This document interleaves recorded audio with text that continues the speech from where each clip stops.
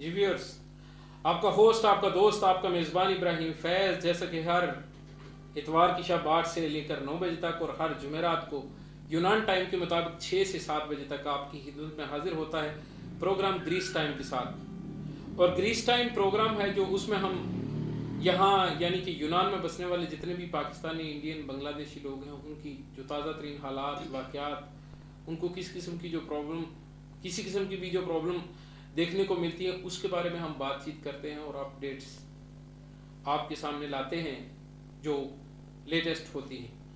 तो इसी हवाले से हमारे साथ यहाँ की कुछ ऐसी शख्सियात होती हैं जो कि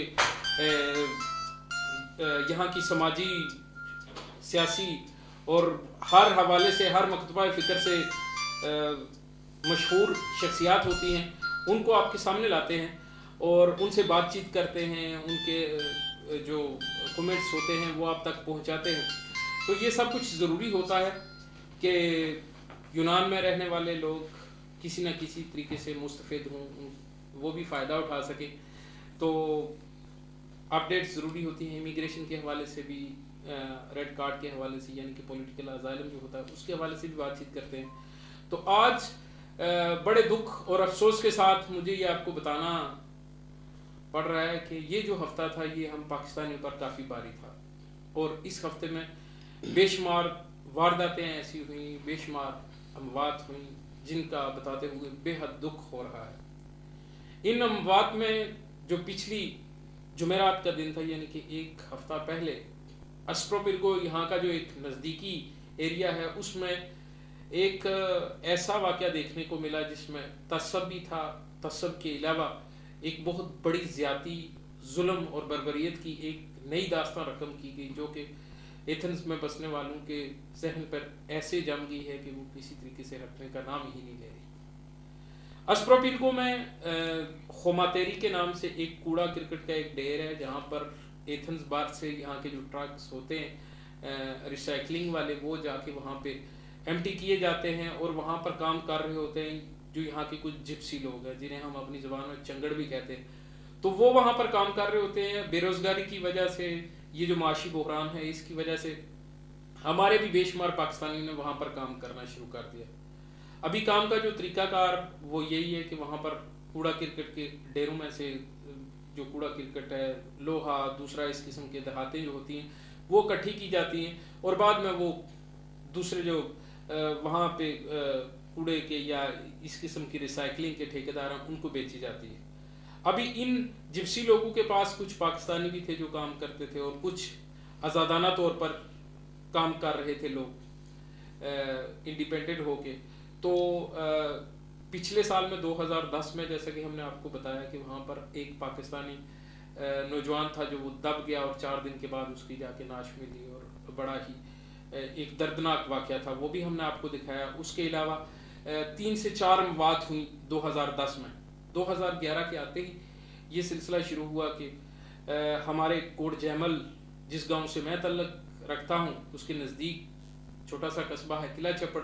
वहाँ से तल्लक रखने वाले मिर्ज़ा महफूज जराल साहब और उनके बेटे बलाल हैं जो वो वहाँ पर काम कर रहे थे। और बलाल जो उनके बेटे हैं, वो कुछ दहात मिली उनको वहाँ पर।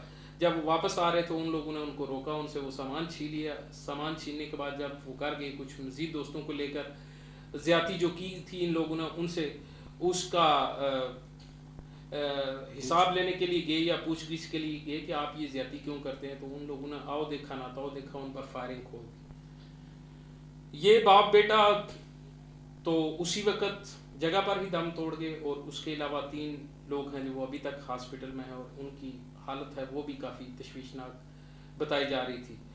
दो दिन के बाद इन लोगों का नमाज़ जनाजा अस्प्रोबिरगो में ही अदा किया गया और नमाज़ जनाजा में बहुत बड़ी तादाद एथन से हमारे पाकिस्तानियों की वहाँ पर मौजूद थी और एहतजाज भी किया गया और एहतजाज में लगातार यही कहा गया कि ज़्यादा बंद की जाए, ये तासब की जो फजा फैल रही है ग्रीस में, इसके आने वाले वक्त में ज़्यादा ख़तरनाक नतज सामने आएँगे।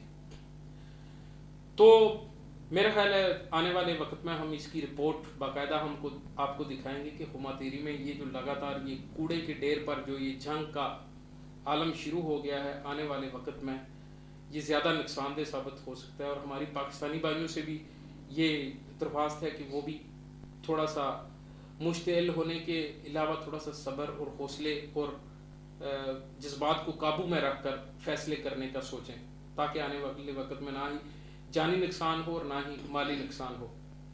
इसके अलावा हमारे एक बहुत ही अच्छे फनकार हमारे स्टूडियो के कैमरामैन और हमारे यहाँ के स्टेज ड्रामा सीरियल ड्रामा में काम करने वाले मोहम्मद नदीम जराल, जिनका ताल्लक पुल मंडा जातला से था, वो भी एक हादसा का शिकार हो गए। कोरिंथोस में वो काम कर रहे थे। काम के दौरान एक ट्रैफ़िक हादसा में एक कार उन पर जा चढ़ी और उसी वक्त वो भी दम तोड़ गए।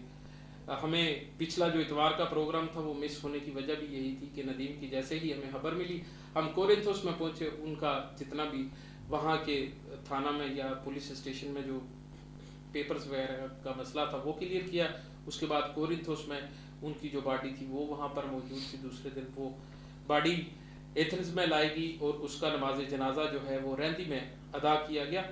और अभी उनकी जो डेड बॉडी है, आज ही सुबह सवा तीन बजे पाकिस्तान में पहुँच गई है। तो यहाँ की जितनी भी फनकार बरदरी है, उसके अलावा हमारी खास करके विनस टीवी ग्रीस टाइम की जो टीम है, वो बहुत ज़्यादा दुख और ये शौक उनसे किसी से भी बर्दाश्त नहीं हो सकता। इसलिए आज हमारी टीम में कुछ लोग मिस हैं। तो आपसे गुजारिश है कि अपनी दुआओं में नदीम जराल के लिए मगफरत के लिए दुआ कीजिएगा। और दुआ कीजिएगा कि अल्लाह की ज़ात हमारी टीम को भी सब्र दे और उसके लवाहकिन को भी सब्र दे। तो ये थे जो ताज़ा तरीन वाक़ात थे। इसके अलावा एक कातोपातीसिया में होने वाला हादसा जिसमें एक नौजवान पाकिस्तानी को सर में गोलियाँ मारी गई, तीन गोलियाँ उसको लगी हुई थी और अभी तक डिटेल्स उसकी हम तक नहीं पहुँची। इरफान तैमूर हमारे साथ हैं, इनसे बात करेंगे, इनसे भी पूछेंगे। अगर इनके पास इस वाक़ से रिलेटेड कोई खबर है, वो पूछेंगे। और आज यहाँ के एक और मंजे हुए सहाफ़ी कालम नगार जनाब अब्दुल क्यूम बदर साहब हमारे साथ मौजूद हैं। इनके साथ भी हम बातचीत करेंगे इसी मसले पे कि अभी तक जितने भी वाकयात या जितना सिलसिला चल रहा था, या पाकिस्तानियों की जो सियासत है ग्रीस में, वो सारी डेड बॉडीज के लिए लगी हुई है। तो मुझे इनका पिछले हफ़्ते लिखा हुआ देश प्रदेश इंटरनेशनल में लिखा हुआ कॉलम बहुत अच्छा लगा कि कुछ जिंदू के लिए भी सोचो। अभी एग्जैक्ट जो टाइटल था वो भी इनसे पूछेंगे। और जो उसकी इबारत थी वो माशाल्लाह मुझे बड़ी अच्छी लगी। इसके अलावा कुछ गुफ्तु का सिलसिला अपने मेहमानों के साथ शुरू करने से पहले मैं आपको कुछ दूसरी जो चीज़ें हैं वो भी बताता चलूँ कि लास्ट टाइम पिछले वीक पाकिस्तान कम्युनिटी इतिहाद की तरफ़ से जनाब जावेद असलम आरई साहब ने एक मीटिंग तलब की जिसमें सहाफ़ी बरदरी को बुलाया गया। और उस मीटिंग में राय ली गई सहाफ़ी बरदरी की कि किस तरीके से जो इलेक्शन कमीशन है, उसका वजूद है, दोबारा अमल में लाया जाए और कौन कौन सी ऐसी चीज़ें हैं जो ज़रूरी हैं। तो उसमें एक जो शिक थी, वो ये भी थी कि आया कि अपनी जो हमारी कम्युनिटी है, जितनी भी बरदरी है, जो कि पाकिस्तान कम्युनिटी के साथ रिलेटेड है तो इसको ज़्यादा पावरफुल बनाने के लिए अगर एक यूरो चंदा माहाना रखा जाए तो वो सूदमंद होगा कि नहीं? तो मेरा ख्याल है, जो मेरे कमेंट्स थे ज़ाती, वो यही थे कि ज़ाहिर बात है, कोई भी बरदरी उस वक्त तक नहीं पहुँच सकती जिस वक्त तक उसके पास खुद वसाइल ना मौजूद हों। कि जिस वक्त आपको कोई मुश्किल पड़े और आप चंदा इकट्ठा करना शुरू कर दें तो उस वक्त बहुत मुश्किल हो जाता है। तो मेरा ख्याल है, ये बहुत ज़रूरी अमल था कि चंदा देना या रजिस्टर्ड होना और एक यूरो हमारे लिए कोई अहमियत का हमल नहीं होता, लेकिन खुदा ना हंसता जिस वक्त हम ऐसे मोड़ पर पहुँच जाते हैं तो उस वक्त बेकारियों की तरह भीख मांगना या डेड बॉडी के हसूल के लिए दौड़ धूप करना तो वो उस वक्त वही हिसाब होता है, प्यास लगी तो कुआँ खोदने निकल गए। तो ऐसा नहीं करना चाहिए। इस बारे में डिटेल के साथ हम बातचीत करेंगे। इसके अलावा एक मीटिंग है जो वो सैयद मोहम्मद जमील शाह साहब की तरफ़ से कॉल की गई। प्रेस कॉन्फ्रेंस थी मेरा ख्याल और उसमें जो सैलाब जदगान के लिए कुछ उनने फंड्स इकट्ठे किए थे, जिसमें अनाउंस होता रहा हमारे प्रोग्राम्स में लाइव जो हमारे ईद के ईद मिलन पार्टी थी उसमें भी अनाउंस होता रहा। अम्बेसडर साहब के सामने सफीर पाकिस्तान जनाब इरफान रहमान राजा साहब के सामने कि आठ से नौ कंटेनर हमने इकट्ठे कर लिए और बहुत जल्द हम एक पोशीदा अकाउंट है जो पाकिस, पाकिस्तानी कुछ तनजीमें उसमें शामिल हैं और यहाँ की जितनी भी लोकल बॉडीज़ हैं लोकल एन हैं उनके साथ हमने बात की है बैंक हैं उनके साथ जो मुख्तलिफ़ किस्म की शिपिंग कंपनीज़ हैं, वो हमारी हेल्प कर रही हैं और एक बहुत बड़ी अमाउंट है जो वो हम अक्टूबर के लास्ट तक इकट्ठी करके इन पाकिस्तान को भेजेंगे। अक्टूबर गुजर गया, नवंबर, दिसंबर, जनवरी, फरवरी सब कुछ गुजर गया और जब हमें पता चला कि 800 कार्टन तकरीबन कुछ कपड़ों के अभी किस टाइप के वो कपड़े हैं, ये कोका कोला के कुछ डब्बे या पानी की कुछ बोतलें हैं जो वो इकट्ठी की गई है और उनको सेव किया गया है इदारा में नहाजुल कुरान रैंदी के मरकज़ में। तो वो कुछ दिन वहाँ पर रखेगी, वहाँ पर वो टेंशन देना शुरू हुए, उसके बाद उसको अस्प्रोबिरगो में पहुँचाया गया। अस्प्रोबिरगो में जब वहाँ पर चूहे खाना शुरू हो गए उन कपड़ों को तो राय मांगी गई साफ़ी बरदरी से, जी, क्या किया जाए इसका? क्योंकि इदारा में नहाजुल कुरान को हमने ये भेजने थे पाकिस्तान में और उन्होंने लेने से इनकार कर दिया। तो खैर, इस किस्म के अमल शाह साहब की तरफ़ से हमेशा हर दौर में होते रहे कि गलती कर ली और बाद में ये कह दिया कि नादानस्ता तौर पर गलती ये हो गई। तो पता नहीं ये नादानस्ता गलतियाँ हमारे सीनियर से कब तक होती रहेंगी, इनका हल कब तक निकलेगा? और बाद में ये कह देना कि आप खुद बताएँ कि इस चीज़ का हम हल कैसे ढूंढें। अगर आप सियाने या ज़्यादा अक्लमंद उस वक्त हैं तो बाद में चाहे लोगों से आप क्यों तो रखते हैं कि आपको बेहतर मशवरा देंगे? या आप हाथ उठा लें कि हम अच्छे तरीके से मैनेज नहीं कर सकते अपनी बरदरी को? और बरदरी के नाम पर मुख्तलिफ़ किस्म की जो ब्लैक मेलिंग हम करते हैं उससे हम बाज आ जाएँगे। तो मेरा ख्याल है बरदरी हर जगह अपना बोझ उठाना आहिस्ता आहिस्ता सीख रही है। तो इसी तरह ये दोबारा एक नादानिस्ता गलती की माफ़ी भी एक किस्म की मांगी गई और ये भी कहा गया कि मैं खुदा के अलावा किसी मीडिया से नहीं डरता या दूसरे तीसरे से नहीं डरता। तो ये तो हर वक्त कहा जाता है, बच्चा भी नहीं यहाँ पर डरता, आप तो माशाल्लाह काफ़ी बड़े हो गए हैं। तो सैयद मोहम्मद जमील शाह साहब के लिए भी दुआ कीजिए कि वो अपनी बरदरी के लिए जिस तरह के दावे करते हैं और उनकी बातों में जैसा दम होता है ऐसे उनके अमल में भी दम आए। आज इरफान तैमूर हमारे साथ मौजूद हैं मुस्करा भी रहे हैं। लेकिन इरफान के साथ बात करने से पहले मेरा ख्याल है एक कॉल ले लीजिए और देखा जाए कि आज हमारे साथ कौन है और कहाँ से है। जी अस्सलाम वालेकुम। हेलो। जी अस्सलाम जी वालेकुम अस्सलाम। कौन साहब और कहाँ से जी? मैं सर बदर बोल रहा हूँ इस टाइम से जी जी। और सबसे पहले मैं सब भाइयों से मज़बूत करता हूँ दुआ करता हूँ उनके लिए अल्लाह ताला उनको आला मुकाम आप नस्ल पर में और आपकी तजवीज़ बहुत अच्छी है इतफा करता हूँ जी जी और दूसरी बात यह है कि हमको इकट्ठा होने की ज़रूरत है अब हमें सोने की ज़रूरत नहीं है पूरी कम्युनिटी को जो माशाल्लाह जितने भी जलसे होते हैं नबी के और सारे हज़ारों की तादाद में इकट्ठे होते हैं हम। जी जी। और बहुत ही अच्छी बात है। जी। लेकिन हम सबको इकट्ठा होने की ज़रूरत है। मुतहद होने की ज़रूरत है। जी। तो आप कोई ऐसी तजवीज पेश करें कि हमारे जो माशाल्लाह बहुत से इस्लामिक चैनल है सब अगर एक एक हो जाएँ और इकट्ठा हो जाएँ तो किसी की ज़रूरत नहीं है इधर झूठ बोलने की हमारे खिलाफ प्रोपेगेंडा करने की। बेशक। बेशक जनाब Ali thank you very much अच्छा जी इरफान साहब खुश आमदीद प्रोग्राम में कैसे मिजाज है? अल्हम्दुलिल्लाह बिल्कुल ठीक अच्छा आज मेरा ख्याल है ज़्यादा बातें बातें करने की मुझे भी ज़रूरत नहीं एजेंडे का खुद ही आपको पता चल गया कि ये जो माहौल इस वक्त बना हुआ है क्योंकि आपकी जो एक्टिविटीज़ हैं, हमेशा आपने भी भलाई के लिए सोचा कि इस माशरे में बसने वाली अपनी जो बरदरी है, उसके लिए उसके लिए कुछ ना कुछ किया जाए। और ये बहुत ही ज़रूरी हो गया। तो आप इस मसला में क्या कहते हैं? जी, सबसे पहले बिस्मिल्लाहिर्रहमानिर्रहीम। बहुत शुक्रिया इब्राहिम भाई, आपने बहुत ही जो इस वक्त, इस क्राइसिस और रिसेशन के दौर में ये जो अहम तरीन टॉपिक है, इस वक्त हमारी पाकिस्तानी बरदरी का। क्योंकि एक तरफ़ जाने और इज्जतें दाव पर लग चुकी हैं। जी जी। बहुत इकोनॉमिक तौर पर जो डिफ़िकल्टीज़ हैं उसके साथ साथ जान और माल की जो सूरत हाल हो चुकी है तो अभी आपने बड़ा तफसील से ज़िक्र किया है कि अभी लेटेस्ट ये जो वीक हमारा गुजरा है ये पाकिस्तानी पर बहुत भारी है। सबसे पहले तो मैं सबके लिए दुआ माफ़रत करता हूँ। आपसे खसूस नदीम जराल की बहुत अच्छा नाइस नौजवान बहुत अच्छा दोस्त, लड़का था, जो हमें गमजदा कर गया, उसके लिए मैं तजियत का सहार करता हूँ। अल्लाह तबारक ताली सब मरहुमैन जो इस वीक में पाकिस्तानी यहाँ पर अपने प्यारों से दूर जो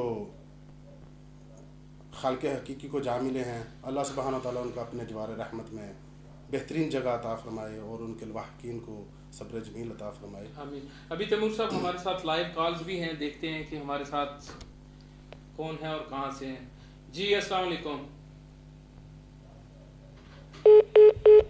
अच्छा जी कभी कभी कुछ प्रॉब्लम्स की वजह से और कुछ? ये जो खमातेरी जहाँ पे स्क्रैप कूड़ा वगैरह जो गार्बेज इनका रिसाइकलिंग का जो प्लांट है एथेंस दारकूमत एथेंस का वहाँ पर ये वाक़ था जैसे आपने कहा कि ये दो एक साल से ये शुरू हो चुके हैं। और ये क्राइसिस ही इसकी मेन वजह मैं कहूँगा कि अब पाकिस्तानी भी जाके कूड़े से वो स्क्रैप ढूंढते हैं। जी जी। लोहे के वो खाली टिन इकट्ठे करते हैं लोहे की चीज़ें इकट्ठी करते हैं और उन्हें बाहर बेच कर अपनी वो जो गुजर बसर का जो दिहाड़ी वगैरह का सामान इकट्ठा कर जी जी जी। तो अभी वहाँ पर जो लड़ाई हुई है ये पिछले साल से चल रही है। ये कशमकश जो है असल में वहाँ पर वो कानूनी ये कानूनी चीज़ नहीं है। आप कानूनी तौर पर नहीं जाते वो उन्होंने रास्ता बनाया हुआ है। जब आपने कहा वो पीछे इनके हमारे पाकिस्तानी जो एक जाँ भाग हो गया था कूड़े में दब कर उससे छः के एक माह पहले इनके दो या तीन बच्चे ये जो हैं जिफ्तीज हैं पोमा इन्हें कहते हैं यहाँ पे। जी जी। ये इनके जो बच्चे थे वो दब के वो भी हलाक हो गए थे। तो उन्होंने बड़ा उद्यम मचाया रोड ब्लॉक किए ठीक उनका हक था राइट था। तो हुआ ये कि वो ये दीवार पे इन्होंने रास्ते बनाए वहाँ से ये चोरी छुपे। क्योंकि कानूनी इसकी इजाज़त नहीं आप जाके क्योंकि वो बहुत डेंजरस है।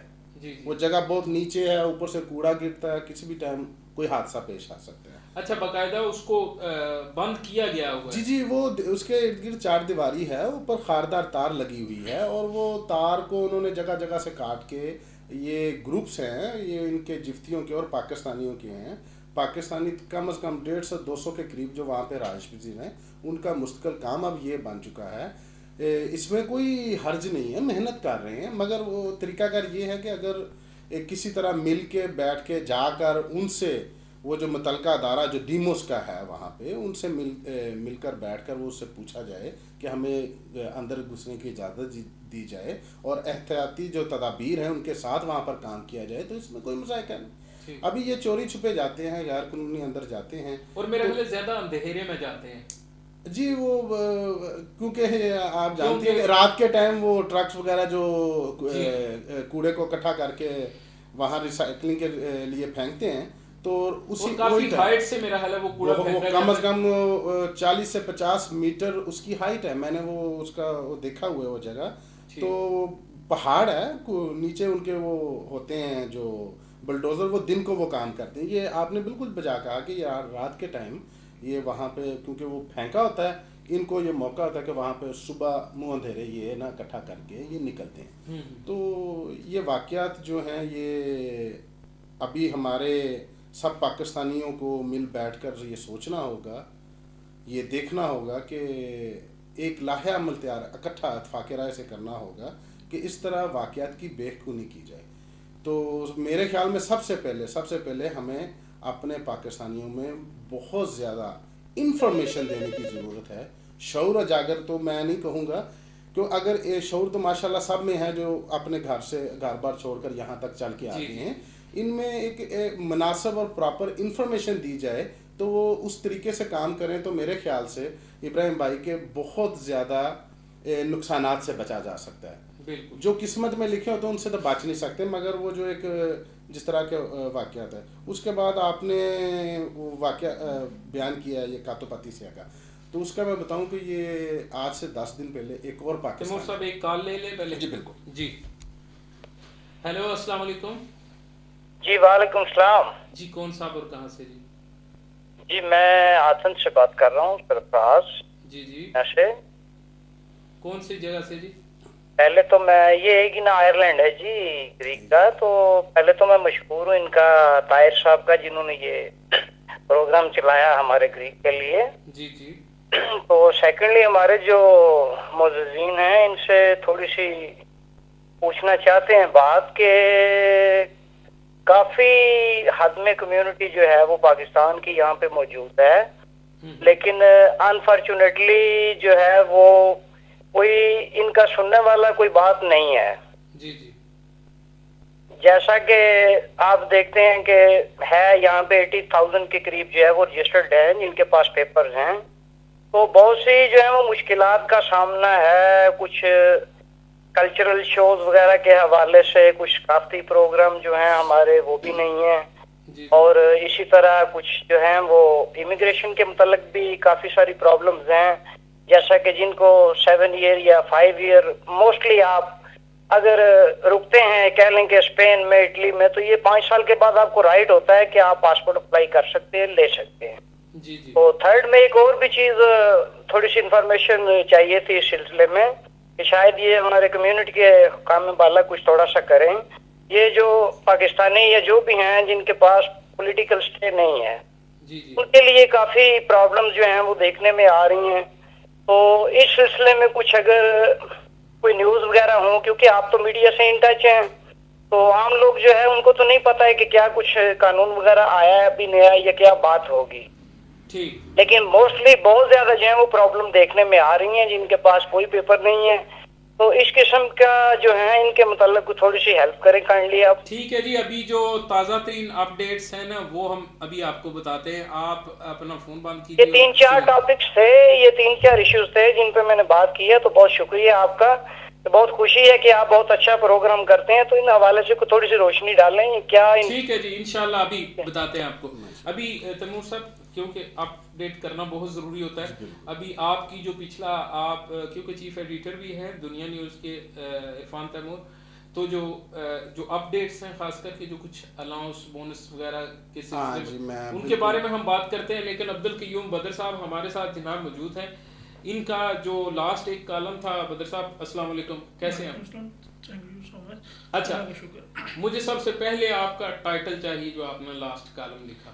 लेकिन बिस्मिल्लाहिर्रहमानिर्रहीम। आखिरी कॉलम मैंने लिखने की बहुत अर्सा पहले भी कोशिश की लेकिन सोचा कि लिखूं या ना लिखूं लेकिन लिखा। टाइटल का नाम था चिराग तरह अंधेरा और उसके सब अनुमान जो दिया गया था वो था ज़िंदा लोगों के लिए भी कुछ किया जाए। अच्छा। ज़िंदा लोगों के लिए किया किया जाए और ब्रैकेट में मैंने अच्छा पहले पहले ना लिखने की वजह डर तो नहीं था किसी का आपको? नहीं अल्हम्दुलिल्लाह डर नहीं था। मैं ये देख रहा था कि तनकीद बराए तनकीद अच्छी नहीं होती। लेकिन कुछ लम्हा के लिए मैं सोच रहा था कि शायद ये जो हमारे अकाबरी अच्छा नहीं बदर साहब एक तो बात बिल्कुल वाजह है कि तनकीद बराए तनकीद साफी का काम तो तनकीद करना है ही नहीं साफी का काम सिर्फ़ मेरा ख्याल है एक इसलाह करना है देना करना होता है ठीक है जी। और अगर आपके कालम के खिलाफ कोई कालम लिखेगा वो वो तो हो गया तनकीद बराए तनकीद। अब ऐसा अभी तक कभी भी नहीं मेरा ख्याल हुआ। नहीं मेरा बात करने का मकसद फैसला ये नहीं था। मेरा बात करने का मकसद ये है कि कुछ लोगों को टाइम देना चाहिए। खाली डोरा नहीं पीटना चाहिए कि टाइम मीन क्या कहते हैं? पूरी एक लाइफ देनी चाहिए क्या करें? मैं ये इंतज़ार कर रहा था कि पाकिस्तान कम्युनिटी के नाम से रजिस्टर होने वाली जो तंजीम। उसके बारे में हम बात करते हैं लेकिन ब्रेक लेना बहुत ज़रूरी होता है। तो अभी पहले लेते हैं एक कमर्शियल ब्रेक और उसके बाद अब्दुल क्यूम बदर साहब हमारे साथ मौजूद हैं। देखते हैं कि ये आज पाकिस्तान कम्युनिटी के बारे में और जिंदू का कुछ ख्याल करो उसके बारे में क्या कहते हैं। लेते हैं एक कमर्शियल ब्रेक